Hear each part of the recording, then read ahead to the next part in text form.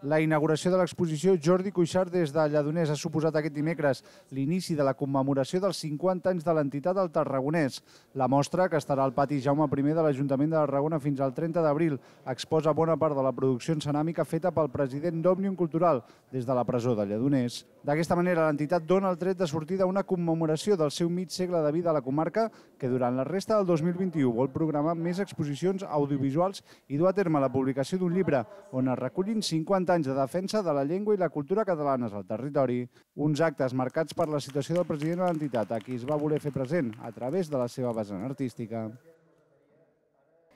Ell és qui hauria de ser avui aquí. La presó injusta de fa tres anys i mig ho impedeix. Ens fa ràbia i sentim molta, moltíssima impotència. Passen els dies i els dies. Res es resol resistència davant la repressió que vivim.